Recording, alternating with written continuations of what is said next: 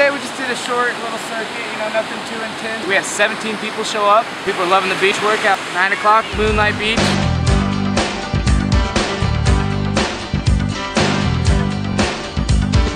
Some people stand in the darkness,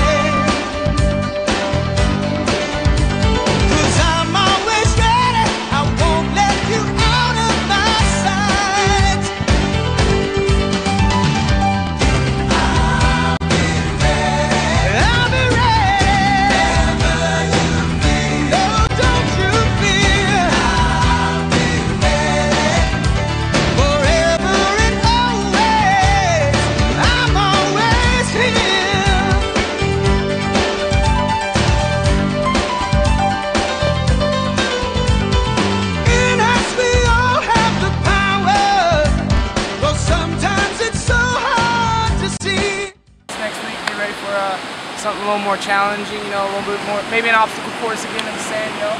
Maybe digging some holes. I might have you digging some holes for me. So I can bury you guys when you're dead at the end of class. Better see